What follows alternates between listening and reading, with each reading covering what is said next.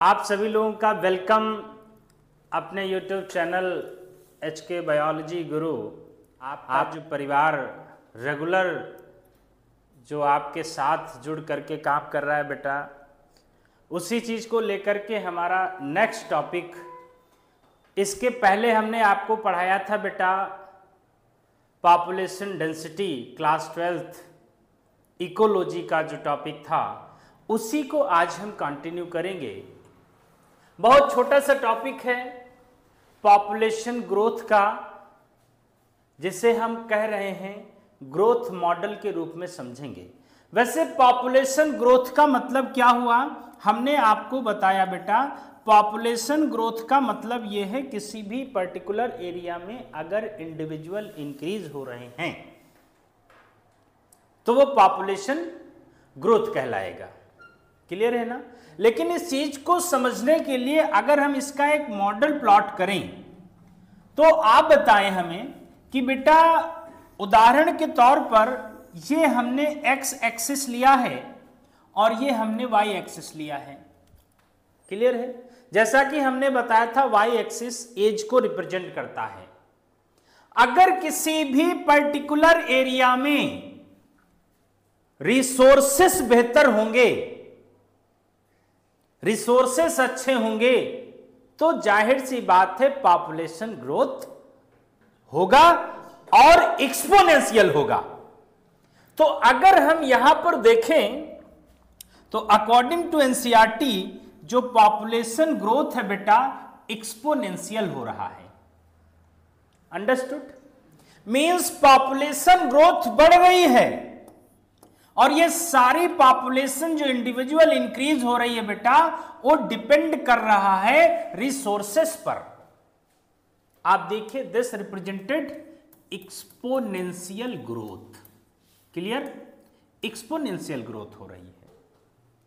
तो growth model को दो तरीके से पढ़ते हैं एक्सपोनेंशियल ग्रोथ और दूसरा है लॉजिस्टिक तो लॉजिस्टिक में क्या होगा? वो बेटा इंक्रीज तो होगा बट उसका एक कंडीशन ये होगा कि कुछ समय के बाद वो कांस्टेंट हो जाएगा।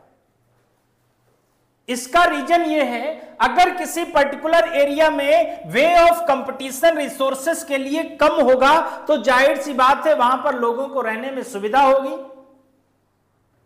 और जब सुविधा होगी तो वहाँ पर कंपटीशन नहीं होगा।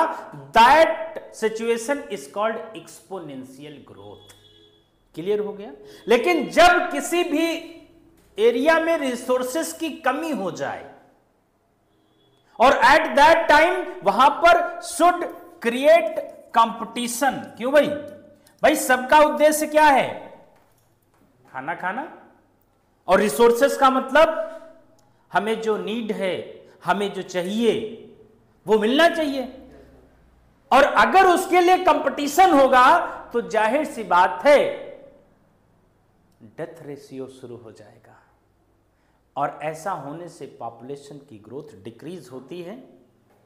इसका मतलब यह हुआ बेटा, जो लॉजिस्टिक ग्रोथ है, इसमें कंपटीशन होने की वजह से इंटर अब ये कंपटीशन अलग अलग हो सकता है।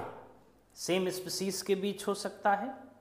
डिफरेंट स्पीसीज के बीच भी हो सकता है।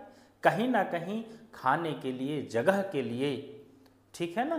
कंपटीशन होगा, जिससे जो पॉपुलेशन ग्रोथ है, वो ग्रोथ एक्सपोनेंशली ना सो करके, आप देखिए कुछ समय तक तो ग्रोथ हुई, लेकिन उसके बाद कांस्टेंट हो जाती है। तो ये वाला जो एक्सप्रेशन है बेटा शो कर रहा है लॉजिस्टिक ग्रोथ और ये बेटा आपका है एक्सपोनेंशियल ग्रोथ तो हम लोग ग्रोथ मॉडल को दो तरीके से एक्सप्रेस करते हैं लॉजिस्टिक और एक्सपोनेंशियल ग्रोथ क्लियर हो गया? और जिसका फार्मूला आपने लास्ट क्लास में पढ़ा था बेटा एन क्या था?